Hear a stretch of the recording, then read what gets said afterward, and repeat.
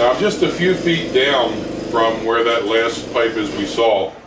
And you can see here where there used to be a pipe, but obviously uh, they took it out. There is some blocking up here in the ceiling if you want to take a look up here. There's still some blocking that remains, but apparently this pipe has failed. Uh, you can notice here we have a cracked mortar joint, a cracked mortar joint, a cracked mortar joint, a cracked mortar joint, another cracked one, another cracked one. So what's happening, this wall is coming out uniformly and every joint is failing.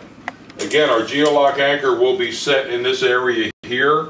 We'll cover at least three to four of these blocks and slowly over time we'll be able to push that back in. Um, the homeowner here has opted not to have us excavate and pop the wall back, but to do it over time because obviously it's a little more affordable and that's fine. Uh, at least they know they have the safety and protection of the GeoLock system.